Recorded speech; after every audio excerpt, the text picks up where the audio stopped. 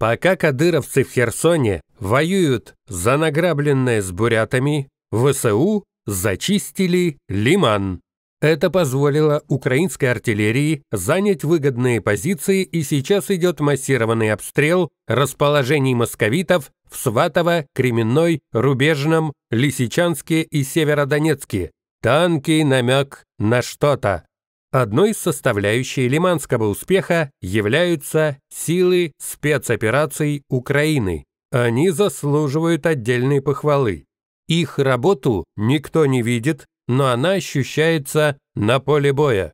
Это диверсионные операции, противодействие спецназу, специальная разведка, морские и речные рейды и так далее. Так силы спецоперации ликвидировали россиянскую спецуру, которая корректировала арту в ставках при продвижении ВСУ к Лиману. Фронт РФ продолжает каскадно обваливаться. Уязвимости точечно считываются украинским военным командованием, а также западными разведками, в результате чего ВСУ молниеносно проникает в дыры в оборонной структуре, подрывая смежные защищенные участки изнутри. Такая тактика резких, диверсифицированных ударов требует от рашистов быстрого реагирования на постоянно колеблющийся фронт. Однако махина госмеханизма Москвы отличается уникальной неповоротливостью, в результате чего Украине удается достаточно эффективно наносить кинжальные удары по всей плоскости фронта. Опять же, проблема для РФ не является решаемой, она требует полной переработки системы военного управления. Так рашисты должны перенести груз принятия местных решений из центра на самый низ, чтобы россиянцы в соответствии с сиюминутной ситуацией могли совершать какие-то маневры. Но Путин намеренно обезглавил автономное местное военное руководство, отдав абсолютно все рычаги влияния на войска верхам, до которых информация доходит через несколько часов после того, как ситуация для орков становится безвыходной. Поэтому Макшани и дальше будут терять оккупированные территории без какого-то продвижения вперед. В результате такого положения Кремль объявляет о том, что обсуждает границы незаконно включенных в состав РФ территорий. Но тут дело не в законности, на которую Москва давно наплевала, а на демонстративном желании ретироваться задом.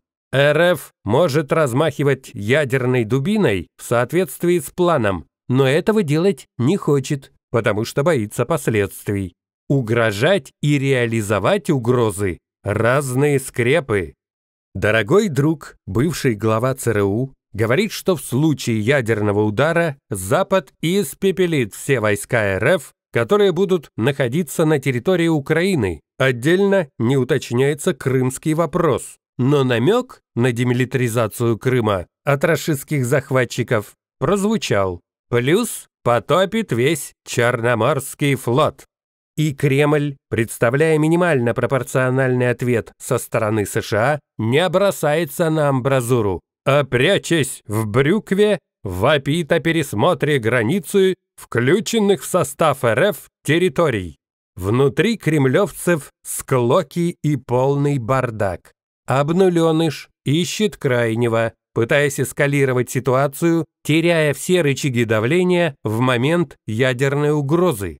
Москве пора выползать с поднятыми руками. Война проиграна, шансов на изменение ситуации нет.